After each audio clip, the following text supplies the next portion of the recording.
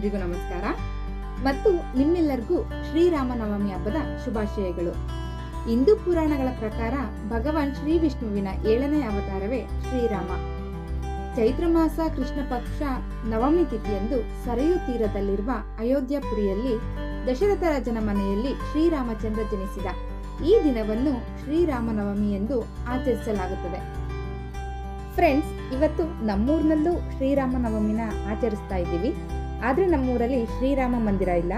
ಹಾಗಾಗಿ ನಾವು ರಾಮಭಕ್ತ ಆಂಜನೇಯನ ದೇವಸ್ಥಾನದಲ್ಲಿ ಶ್ರೀರಾಮ ನವಮಿನ ಆಚರಿಸ್ತಾ ಇದ್ದೀವಿ. ನಮ್ಮೂರಲ್ಲಿ ಹೇಗೆ ಶ್ರೀರಾಮ ನವಮಿನ ಆಚರಿಸ್ತೀವಿ ಅಂತ ನೋಡಬೇಕಾ? ಹಾಗಿದ್ರೆ ಈ ವಿಡಿಯೋನ ಸ್ಕಿಪ್ ಮಾಡದೆ ಪೂರ್ತಿಯಾಗಿ ನೋಡಿ. ನೋಡಿ ಫ್ರೆಂಡ್ಸ್ ಇದು ನಮ್ಮೂರಿನಲ್ಲಿರೋ ಪುಟ್ಟ ಆಂಜನೇಯ ಸ್ವಾಮಿ ದೇವಸ್ಥಾನ. ನಾವು ಪ್ರತಿ ವರ್ಷನೂ ಇಲ್ಲೇ ಶ್ರೀರಾಮನವಮಿನ ಆಚರಿಸೋದು. ಸೋಗೆಗರಿಯಿಂದ ಚಪ್ಪರ ಹಾಕಿ ಮಾವಿನ ಎಲೆಗಳಿಂದ ತೋರಣ ಕಟ್ಟಿ ದೇವಸ್ಥಾನನ ಅಲಂಕಾರ ಮಾಡಿದ್ದಾರೆ ನೋಡಿ ಫ್ರೆಂಡ್ಸ್, ಈಗ ಆಂಜನೇಯ ಸ್ವಾಮಿಗೆ ಅಭಿಷೇಕ ಪೂಜೆ ನಡೀತಾ ಇದೆ.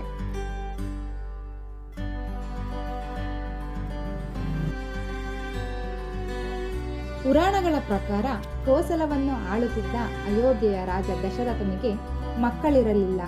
ತನ್ನ ಉತ್ತರಾಧಿಕಾರಿಯ ಬಗ್ಗೆ ಚಿಂತೆಯಲ್ಲಿದ್ದ ದಶರಥನಿಗೆ ಮಂತ್ರಿಗಳು ಹಾಗೂ ಪುರೋಹಿತರ ಸಲಹೆ ಸಲಹೆ ಮೇರೆಗೆ ಪುತ್ರ ಸಂತಾನಕ್ಕಾಗಿ ಪುತ್ರಕಾಮಿಷ್ಟಿ ಯಜ್ಞವನ್ನು ಮಾಡಿದನು.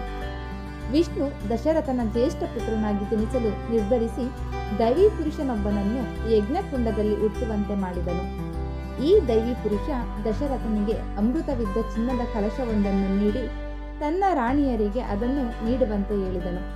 ದಶರಥನು ಅದನ್ನು ತನ್ನ ಮೂರು ರಾಣಿಯರಾದ ಕೌಸಲ್ಯೆ, ಸುಮಿತ್ರೆ ಮತ್ತು ಕೈಕೇಯಿ ಇವರ ನಡುವೆ ಹಂಚಿದನು ಕಾಲಕ್ರಮೇಣ ಅವರು ಗರ್ಭಿಣಿಯರಾಗಿ ನಾಲ್ಕು ಮಕ್ಕಳಿಗೆ ಜನ್ಮವಿತ್ತರು ರಾಣಿ ಕೌಸಲ್ಯಗೆ ಹಿರಿಯ ಮಗನಾಗಿ ರಾಮನು, ಕೈಕೇಯಿಗೆ ಭರತನು ಮತ್ತು ಲಕ್ಷ್ಮಣ ಮತ್ತು ಸುಮಿತ್ರೆಗೆ ಶತ್ರುಘ್ನರು ಜನಿಸಿದರು.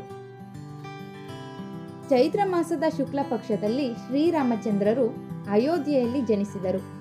ಶ್ರೀರಾಮನು ಜನಿಸಿದ ಈ ದಿನವನ್ನು ಶ್ರೀರಾಮನವಮಿ ಎಂದು ಆಚರಿಸಲಾಗುತ್ತದೆ. ಈ ಸಂದರ್ಭದಲ್ಲಿ ಎಲ್ಲ ದೇಗುಲಗಳಲ್ಲೂ ವಿಶೇಷ ಪ್ರಾರ್ಥನೆ ಪೂಜೆಗಳು ನಡೆಯುತ್ತದೆ. ಶ್ರೀರಾಮನವಮಿಯಂದು ಪಾನಕ ಕೋಸಂಬರಿಗೆ ವಿಶೇಷ ಮಹತ್ವವಿದೆ. ನೀವಿಲ್ಲಿ ನೋಡ್ತಾ ಇರ್ಬೋದು ಫ್ರೆಂಡ್ಸ್, ಅಭಿಷೇಕ ಪೂಜೆ ಆಗಿದೆ. ಇವಾಗ ಸ್ವಾಮಿ ಅವ್ರಿಗೆ ಅಲಂಕಾರ ಪೂಜೆ ಸ್ಟಾರ್ಟ್ ಆಗಿದೆ.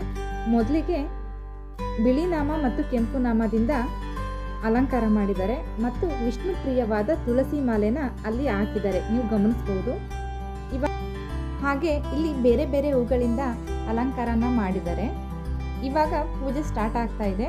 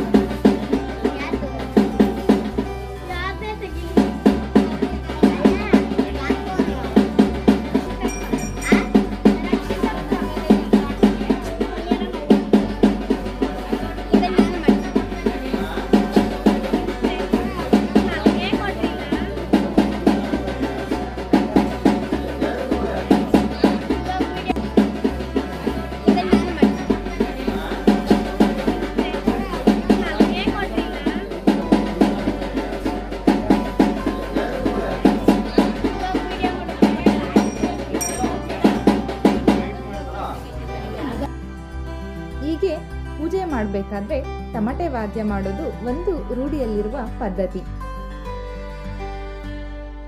ಇದಾದ ನಂತರ ಆಂಜನೇಯ ಸ್ವಾಮಿಯವರಿಗೆ ಶಿವ ಅಷ್ಟೋತ್ತರ ಪೂಜೆ ನಡೀತಾ ಇದೆ.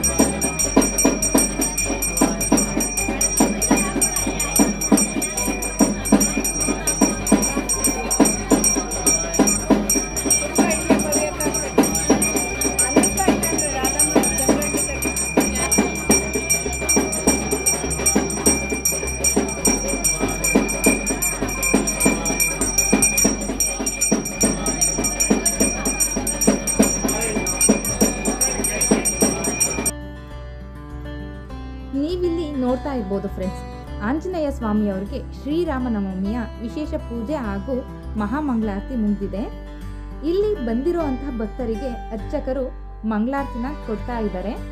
ಹಾಗೆ ಮತ್ತೊಂದು ಕಡೆ ಪೂಜೆಗೆ ಬಂದಿದ್ದಂತಹ ಮುತ್ತೈದೆಯರಿಗೆ ಅರಿಶಿನ ಕುಂಕುಮ, ಅಕ್ಷತೆ ಹೂವನ್ನು ಕೊಡ್ತಾ ಇದ್ದಾರೆ.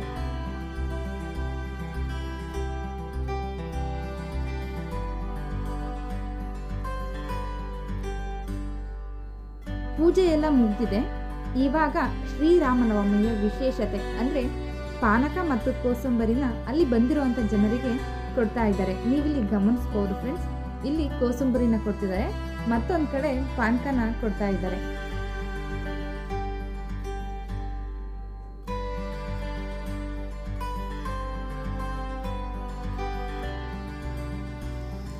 ನೋಡಿ ಫ್ರೆಂಡ್ಸ್ ಇದು ಊರಿನ ಹೆಬ್ಬಾಗಿಲು. ಇದನ್ನ ಕರಿಗಲ್ ಅಂತಾನೂ ಕರೀತಾರೆ. ಊರಲ್ಲಿ ಯಾವುದೇ ಒಂದು ದೇವರ ಕಾರ್ಯ ಆದ್ರೂ ಇಲ್ಲಿ ಬಂದು ಪೂಜೆ ಮಾಡೋ ಒಂದು ಸಂಪ್ರದಾಯ ಇದೆ. ನೋಡಿದ್ರಲ್ಲ ಫ್ರೆಂಡ್ಸ್ ನಾವು ನಮ್ಮೂರಿನಲ್ಲಿ ಹೇಗೆ ರಾಮನವಮಿನ ಆಚರಿಸಿದ್ವಿ ಅಂತ. ಈ ವಿಡಿಯೋ ನಿಮಗೆ ಇಷ್ಟ ಆಗಿದ್ರೆ ಲೈಕ್ ಮಾಡಿ ಕಮೆಂಟ್ ಮಾಡಿ, ಹಾಗೂ ನಿಮ್ಮ ಫ್ರೆಂಡ್ಸ್ ಮತ್ತು ಫ್ಯಾಮಿಲಿ ಜೊತೆ ಈ ವಿಡಿಯೋನ ಆದಷ್ಟು ಶೇರ್ ಮಾಡಿ. ನೀವಿನ್ನು ನನ್ನ ಚಾನಲ್ಗೆ ಸಬ್ಸ್ಕ್ರೈಬ್ ಮಾಡದೆ ಹಾಗೆ ಈ ವಿಡಿಯೋ ನೋಡಿದ್ರೆ ದಯವಿಟ್ಟು ನನ್ನ ಚಾನಲ್ನ ಹಿಂದೆ ಸಬ್ಸ್ಕ್ರೈಬ್ ಮಾಡಿ. Thank you.